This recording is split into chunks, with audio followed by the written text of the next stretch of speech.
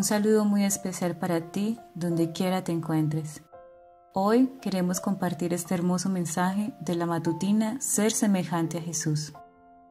Orar por el pan cotidiano. El pan nuestro de cada día, dánoslo hoy. Mateo capítulo 6 versículo 11. Como hijos recibiremos día tras día lo que necesitamos para el presente. Diariamente debemos pedir el pan nuestro de cada día, dánoslo hoy. No nos desalentemos si no tenemos bastante para mañana. Su promesa es segura. Habitarás en la tierra y te apacentarás de la verdad. Dice David, joven fui y he envejecido, y no he visto justo desamparado, ni su descendencia que mendigue pan. Salmos 37, 3, 25. El que alivió los cuidados y las ansiedades de su madre viuda y la ayudó a sostener la familia de Nazaret, simpatiza con toda madre en su lucha por proveer alimento a sus hijos. Quien se compadeció de las multitudes porque estaban desamparadas y dispersas, Mateo 9:36, sigue teniendo compasión de los pobres que sufren. Les extiende la mano para bendecirlos y en la misma plegaria que dio a sus discípulos, nos enseña a acordarnos de los pobres. La oración por el pan cotidiano incluye no solamente el alimento para sostener el cuerpo, sino también el pan espiritual que nutrirá el alma para vida eterna. Jesús nos propone, trabajad no por la comida que perece, sino por la comida que a vida eterna permanece. Juan 6:27. Nos dice Jesús, yo soy el pan vivo que descendió del cielo.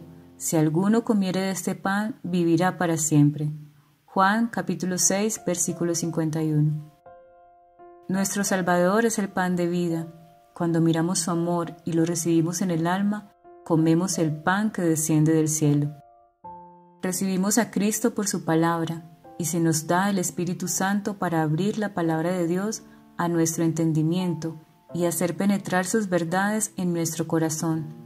Hemos de orar día tras día para que mientras leemos su palabra, Dios nos envíe su Espíritu con el fin de revelarnos la verdad que fortalecerá nuestra alma para las necesidades del día.